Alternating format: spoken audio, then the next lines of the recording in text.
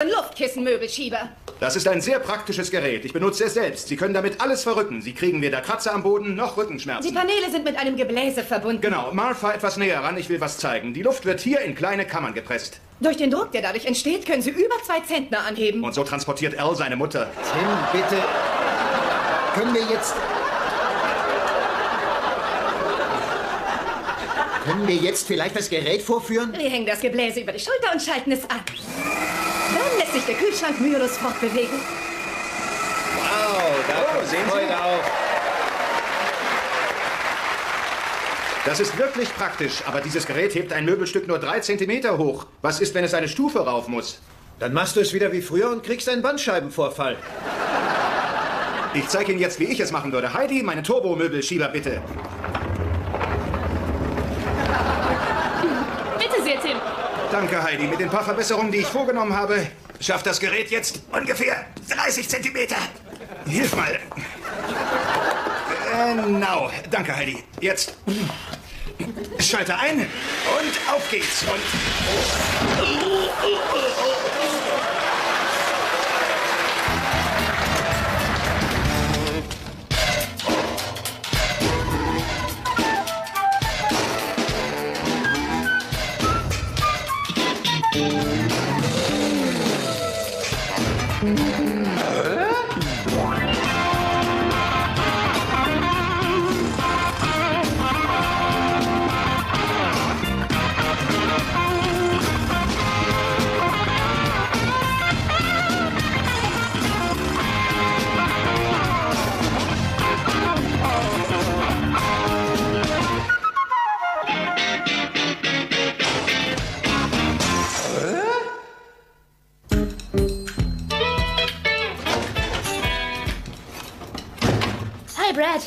Sieh mal, ich habe die besten und schlechtesten Liste. Echt Wahnsinn, wo hast du die her? Was für eine Liste? Auf der Highschool führen die Mädchen eine Liste darüber, wer von den Jungs die schönsten Haare hat, oder die Augen, oder den besten Charakter. Rate mal, wer den allerbesten Hintern hat. Ich weiß nicht, zeig mal her. Sieh ihn dir an, solange du willst. Nicht deinen blöden Hintern, die Liste. Warum stehe ich hier nicht drauf? Wie konnte ich in beste Augenbrauen für Joey Pergonis verlieren? Der hat nur eine. Hi, Mom. Hallo Jungs. Hi Mom. Was machst du für Verrenkungen? Ich bewundere gerade ein Kunstwerk. Ich finde, die Kinder werden immer verrückter. oh, verrückt ist viel zu milder ausgedrückt. Sie sind der reinste Horror. Ja, aber in der Schule habe ich noch was viel Schlimmeres gehört. Du kennst doch meine Freundin Patty. Die Frau, die du magst, weil sie älter ist als du? Ja. Und stell dir vor, sie ist schwanger. Das ist schön. Patty findet das nicht so schön. Sie ist 43 Jahre alt. Ihre Kinder sind jetzt größer und sie war so begeistert, wieder in der Schule zu sein. Und jetzt wird sich alles ändern. Vielleicht sollten Patty und Mr. Patty einen Gummischutz benutzen. Aber das haben sie auch gemacht. Sie haben das gleiche genommen wie wir. Oh nein. Noch ein Kind wäre für sie eine echte Katastrophe. Wo sie sich doch erst einen Hund angeschafft haben. Tim, wir sind uns doch hoffentlich einig, dass unsere Familie groß genug ist. Nicht noch mehr solche Horrorkinder. Bist du sicher? Ganz sicher. Gut, dann sollten wir uns vielleicht etwas Wirksameres überlegen, etwas Endgültiges. Getrennte Schlafzimmer? Tim, In Ordnung. Wenn du was Endgültiges willst, du hast meine volle Unterstützung. Hase, ich rede von dir, von einer Vasektomie. Du, ich, ich mache einen Rückzieher. Ich dachte, du redest von dem Dingsleiterverschluss. Ja, ich rede von diesem Dingsleiterverschluss, aber bei dir natürlich. Hey, vergiss es. An mir schnippelt niemand rum. Hase, eine Vasektomie ist für einen Mann eine Kleinigkeit, aber für eine Frau ist es ein wesentlich größerer Eingriff. Hast du das aus einer Manson-Zeitschrift? Also hör zu, wenn ich es tue, dann muss ich ins Krankenhaus, kriege eine Vollnarkose und werde operiert. Bei Männern wird der Eingriff ambulant vorgenommen. Es ist wirklich eine Kleinigkeit. Ich sag dir mal was. Wenn es um die unteren Regionen geht, ist es absolut keine Kleinigkeit. Mein Gynäkologe hat mir eine wirklich gute Adresse genannt. Lass uns wenigstens hingehen und anhören, was Dr. Kaplan sagt. Aber warum denn? Warum wollen wir nicht noch mehr Kinder kriegen? Noch vor einer Minute warst du auf unsere Kinder nicht gut zu sprechen. Du hast sie Horrorkinder genannt. Das war doch positiv gemeint. Ich liebe diese Kerlchen. Hey, Kinder, kommt runter. Daddy will euch sagen, wie lieb er euch hat. Hey Leute. Hey, Marty. Hey Benny. Hey, Marty. Toller Pullover. Das erinnert mich an was. Eins von den Kindern hat mal gekotzt, weil es Wachsmalkreiden gegessen hatte. Sehr witzig, ja. Hey, wer zieht dir sowas an? Deine Frau? Sie zieht mich nicht an. Sie kauft es. Und ich muss es tragen. Du wirst ein echter Pantoffelheld, Marty. Übrigens, Pantoffelheld. Ich habe gehört, deine Frau schickt dich morgen zum Urologen. Marty, das ist wirklich eine intime Angelegenheit. Was ist los? Bist du krank? Nein, nein. Deine Prostata, oder? Meine ist größer als eine Apfelsine. Nein, nein. Jill zwingt Tim zu einer Vasektomie. Marty, Eine Vasektomie? Wow. Oh mein Gott. Sie lässt dich kastrieren? ich kriege morgen keine Vasektomie. Wir informieren uns nur, klar? Ja, weißt du, ich kann nur sagen, ich würde es nicht so lassen, dass Nancy mich dazu zwingt. Nein, wer will schon, dass jemand mit sowas auf einen losgeht? Aber sowas nehmen Sie doch gar nicht, oder? Was nimmt denn ein Tierarzt, wenn er sie abschneiden will? Was? Wie kommst du denn auf Tierarzt und abgeschnitten wird sowieso nichts? Das machen die innerlich. Ich würde es trotzdem nie machen lassen. Na, bei dir wäre das auch nicht nötig. Naja, ich kann nur sagen, wer das machen lässt, ist danach kein Mann mehr. So ist das nicht. Man verändert sich doch nicht. Sag das meinem Hund. Helmut ist kastriert worden. Und er hat sich total verändert.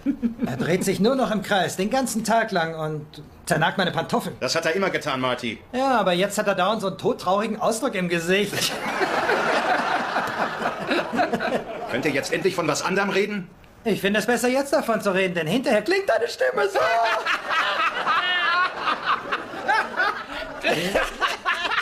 Da kannst du im Kinderchor singen. Sehr witzig, echt. Ja, ich finde, ihr seid reichlich taktlos. Die Vasektomie ist ein löblicher Weg für Männer, Verantwortung zu übernehmen. Tim hat eine liebevolle Entscheidung Halt die getroffen. Klappe, Al. Sei ehrlich, Erl. Liest du den ganzen Tag auf dem Klo in Manzen-Zeitschriften? Hey, Tim, gib mal Kartoffelchips rüber. Sehe ich aus wie ein Kellner? Also keine Chips. Hast du Nüsse?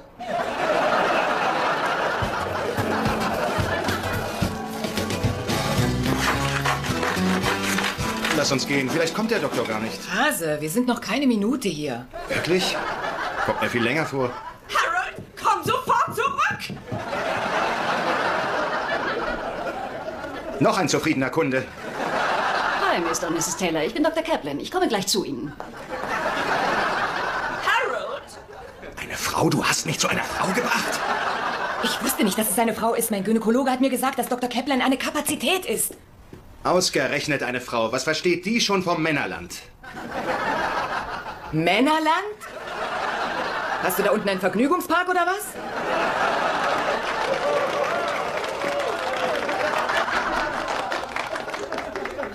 Keiner sagt, du sollst den Eingriff von einer Frau machen lassen. Aber wenn wir schon mal hier sind, rede wenigstens mit ihr. Tut mir leid, dass Sie warten mussten. So, was führt Sie zu mir? Äh, wir interessieren uns für eine Vasektomie. Sie aber mehr als ich. Das ist nicht ungewöhnlich. Aber ich versichere Ihnen, Mr. Taylor, das ist ein ganz ungefährlicher Eingriff. So etwas machen wir hier täglich. Und es ist doch vollkommen sicher. Fast 100 Prozent. Und was ist, wenn ich es nicht mehr will? Nur in wenigen Fällen kann man es rückgängig machen und die Erfolgschancen sind ziemlich gering. Ich meine, wenn ich es überhaupt nicht will und jetzt gehe. Äh, Tim, Tim, Tim, Tim, warte, warte. Äh, mein Mann, denke ich, ist natürlich sehr besorgt, dass es sich vielleicht auf seine Leistung. Schatz, ich erkläre es Ihnen. Sehen Sie, es ist wie in einer Show. Ich will nur nicht, dass während der Vorstellung plötzlich der Vorhang runtergeht. Es beeinträchtigt in keiner Weise Ihre sexuelle Leistungsfähigkeit. Es wird lediglich der Samenfluss unterbrochen. Oh Mann, Wir verhindern, dass die Spermien in den Samenleiter gelangen. ich fische dann ohne Köder. Ohne Köder. Bitte erklären Sie uns, wie das alles vor sich geht. Da bin ich aber gespannt. Sie werden am Morgen Ihres Termins in dem Bereich, wo wir den Eingriff vornehmen, rasiert. Rasiert wieso? Da? Das ist nur eine Routineangelegenheit. Das ist bei uns keine Routine. Denken Sie, ich wache morgens auf, kenne die Haare, putze die Zähne und rasiere Ping und Pong? Du könntest ja zum Friseur gehen, aber ich fände das peinlich. Als erstes werden Sie eine Lokalanästhesie bekommen. Lokal hier in Detroit? Nein, lokal heißt hier, in Ihr Skrotum. Oh Mann. Das kann einige Sekunden brennen. Ehrlich?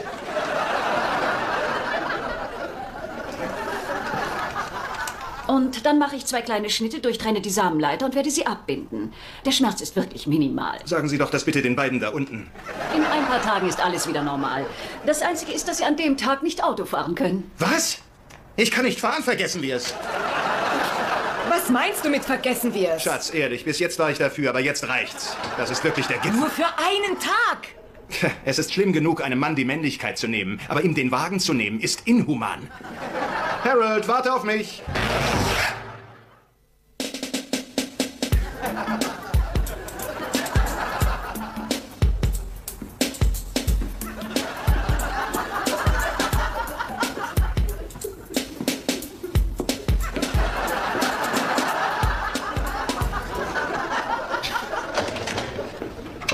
Du es nicht satt, dauernd auf deinen Hintern zu glotzen? Komischerweise nicht. Mark, ich werde dir was erzählen, was dir sonst kein Mensch erzählt. Aussehen ist wichtig und mein Hintern ist toll. Schade, dass du immer nur drauf sitzt. Hi, Brad. Hi. Sei ehrlich, Angela. Sind meine Augenbrauen besser als die von Joel Pagoni? Ja, ich habe auch für dich gestimmt. Ich verstehe nicht, dass ich vor einem verliere, der eine Raupe im Gesicht hat. Hi, Brad, hi, Angela. Hi, wie geht's? Super. Hast du zufällig die neue Liste gesehen? Ich habe den besten Hintern. Ja, und weißt du, wer die Liste angefangen hat? Alison Lewis. Sie hatte Zoff mit ihrem Freund Jeff Mayfield. Der hat den süßesten Hintern der Welt. Er hatte ein paar Mal mit Tiffany Fink geredet. Sie hat sich daraufhin mit dieser Liste gerecht. Und anstatt seinen Hintern drauf zu schreiben, und das wäre ja auch klar gewesen, hat sie sich aus Wut für den Allerkleinsten entschieden. Und das ist deiner. Vielleicht hätte ich es dir nicht sagen sollen. Findest du? Tut mir leid. Äh. Oh mein Gott, Brad, ist mir das peinlich. Du hättest mir das sagen sollen. ich- Hätte ich geahnt, dass er es nicht weiß, hätte ich nichts gesagt. Ich bin normalerweise sehr zurückhaltend. Tim, sag mal, hast du nicht kapiert, was Dr. Kaplan gesagt hat? Doch, ja. Sie will, dass ich ohne Köder fische. Hase, ich weiß doch, wie schwer es für dich gewesen ist, mit dieser Ärztin zu sprechen, aber ich habe gehofft, dass wir nachher in aller Ruhe und ganz vernünftig darüber reden können. Haben wir doch auf dem Nachhauseweg. Alles, was du auf dem Nachhauseweg von dir gegeben hast, war eine lächerliche Ausrede nach der anderen. Das ist nicht wahr. Ich habe nur gesagt, dass es gut wäre, dafür auf besseres Wetter zu warten. Ich könnte dir ja ein kleines Polöferchen stricken. Du hast es doch gehört. Rasieren und spritzen. Du hast keine Ahnung von den Schmerzen da unten. Wow, wow, wow. Na warte, Freundchen. Ich verstehe also nichts von den Schmerzen da unten, hä? Ich habe dir immerhin drei Kinder unter wahnsinnigen Schmerzen auf die Welt gebracht. Was lächerlicherweise als sanfte Geburt bezeichnet wird. Oh Mann, das schon wieder. Der Schmerz der Gebärenden. Gibt es dafür eigentlich keine Verjährungsfrist? Für einen kompletten Idioten wie dich gibt es auch keine Verjährungsfrist. Ach. Du bist total unfähig, Verantwortung zu übernehmen, wie ich es musste. Die ganze Verantwortung habe ich getragen, seit wir uns kennen. Es geht nicht darum, Verantwortung zu tragen, sondern darum, dass ich kastriert werde und ohne Köder fischen muss. Wer redet hier eigentlich von Kastration? Einige Experten, Oh, die ich welche kenne. Experten? Harry und Benny, die waren wohl auf der Idiotenuniversität. Ja, sie sind vielleicht Idioten, aber sie denken genau wie ich. Oh, Sie sind es, Nachbar. Ja, ja. Hi, Wilson. Was tun Sie da? Ach, ich sammle ein paar Äste für mein Terrarium. Es ist Paarungszeit für meine neuen Spinnen. Es ist eine wenig bekannte Tatsache, Tim, dass das Männchen sein Geschlechtsorgan am Ende eines Hinterbeines hat. Dann dürfen Sie sie nicht in Jills Nähe lassen. Nachher haben Sie ein Bein zu wenig. Ich kann Ihnen nicht ganz folgen. Sie will, dass ich eine Vasektomie machen lasse. Ah, jetzt verstehe ich. Ich weiß, viele lassen das machen, aber ich bin nicht so einer. Ich mag nicht, dass da unten einer, naja, Ja, ja, Tim. Es ist völlig normal, dass ein Mann stolz auf seine Männlichkeit ist. Es verleiht ihm ein Machtgefühl, seine Gene zu vererben. ich habe jede Menge Gene. Oh.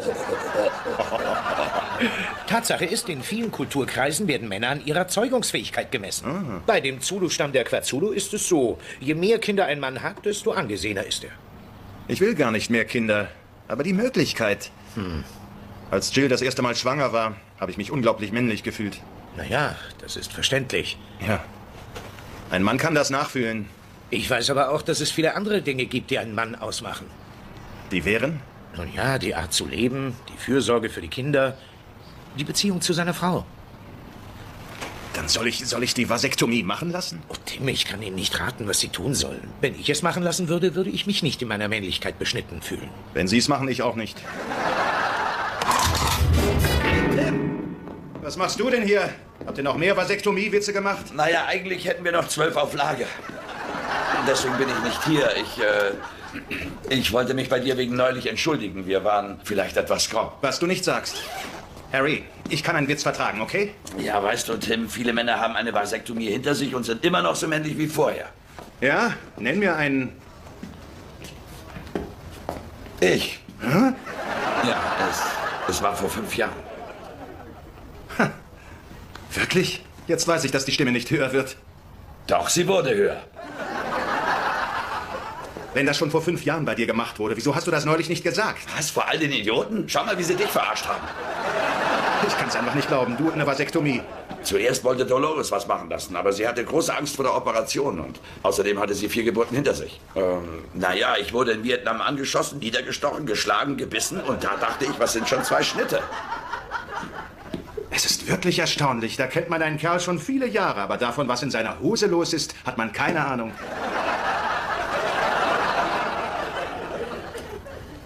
Also unter uns gesagt, es ist gar nichts dabei. Man fühlt sich genauso wie vorher. Der einzige Unterschied ist dein Sexualleben. Was ist damit? Jederzeit, überall. Jederzeit, überall. ja, genau. Und es hilft also auch in deiner Beziehung? Unserer Beziehung kann gar nichts helfen. Aber unser Sexualleben ist viel besser. Gerade heute Morgen, als ich zur Arbeit gehen wollte, da kam Dolores mit Lockenwicklern und sonst nichts an. naja, und Das hat mir sehr geholfen. Ich würde liebend gerne noch bleiben, weil ich es hier so toll finde, aber ich habe meiner Mom versprochen, um sechs zu Hause zu sein. Und wenn ich zu spät bin, kriege ich eine Standpauke. Und sie redet und redet und ich kriege kein einziges Wort dazwischen. Es ist total ätzend. Sagen Sie mal, kennen Sie auch so jemanden? Ja. Wiedersehen. Wiedersehen. Hi. Hi. Ciao. Ciao.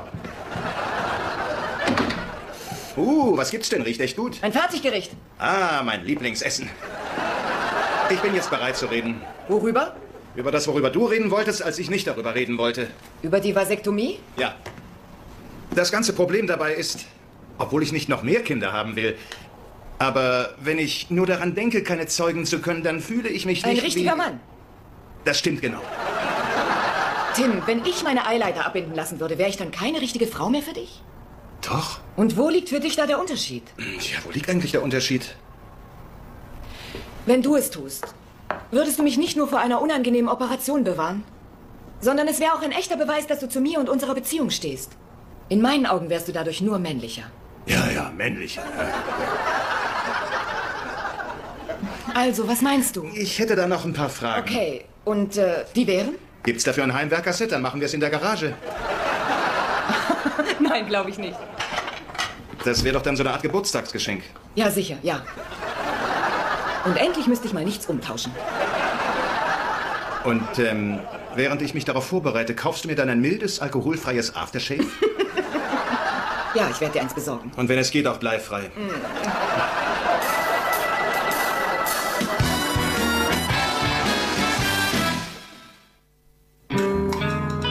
Wir gehen kurz in den Park. Wir sind bald wieder da. Ja. Okay, Essen ist um sechs. Ja, wir sind pünktlich. Bis dann.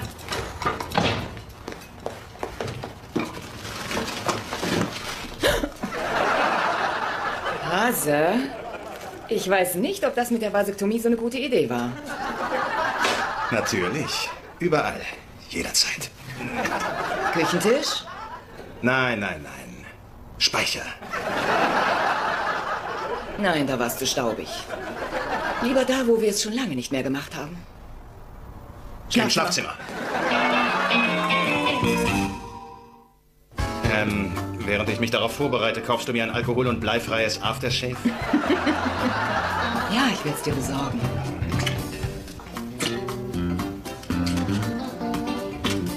Weißt du trotzdem bei mir ein, auch wenn ich keinen Köder mehr habe?